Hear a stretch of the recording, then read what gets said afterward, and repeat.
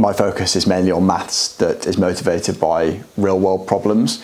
Um, and in particular, I spend a lot of time thinking about filtration. So that's the removal of harmful particles from fluids by passing them through membranes. Up to 10% of all the deaths worldwide are caused by uh, contaminants in gases like air and another 6% by harmful particles in water. A filter material that I look at is EPTFE. What you see is lots of very thin hair-like fibres crossing each other randomly. EPTFE behaves quite similarly to a mathematical object called a network, which you could just think of as a system of pipes that conduct flow that are connected at junctions.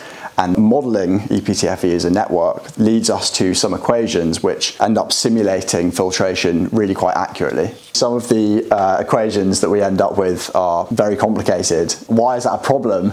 Well, if we're solving problems for industry, then we would like industry to actually be able to use the mathematical solutions that we come up with. I'm spending a lot of time building a non-mathematician friendly code repository, um, which basically consists of a directory full of code and then a website that explains how non-mathematicians can use that code. The ultimate goal of the most recent work I've been doing is to increase the impact of the maths that we do.